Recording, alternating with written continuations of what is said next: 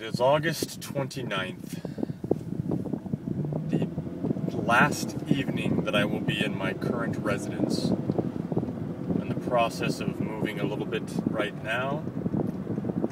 All of my belongings are, not all of them, most of my belongings are boxed up, sitting in boxes. And I fucking hate it moving is the worst ever. It is the worst thing ever. It's worse than the Holocaust.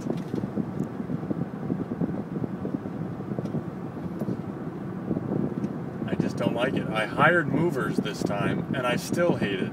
I hate the packing. The unpacking is a little more fun. You to decide where to put things and whatnot, but I don't. I don't like. Took three days off of work to do this. My roommates that are moving took today off, and they moved today. And then they're going to live out of boxes and unpack bit by bit over the next several, who knows, months maybe. Probably just weeks. I'm talking to you, Laura. Anyway, I can't do that. I already hate that my shit is in shambles at the old place I just want it to be done and perfectly set up in the new place. And uh, right now I can't even walk. My back hurts so bad. So I don't know how I'm going to do this tomorrow. Well, the movers are going to do the moving tomorrow. But then you got to put up with all the bullshit. You got to we got to reconnect the cable. And. I just don't like it. Anyway, so I guess nobody uh, wants to post.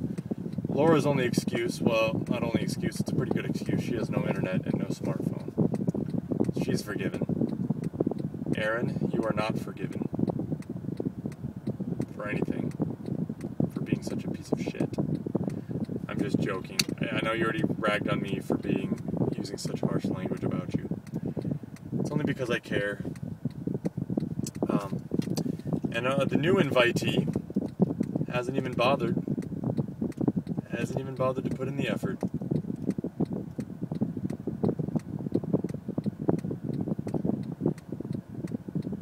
I hate moving. I hate it. I can't even think of anything else. I can't talk about anything else. I don't even know what was last discussed.